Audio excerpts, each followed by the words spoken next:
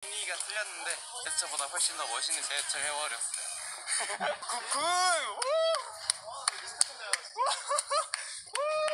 아 좋아요. 어 뭐야 제가 살짝 mistake를 해야 했는데 사실 노렸어요. 네, 시상식 special 제스처. 네.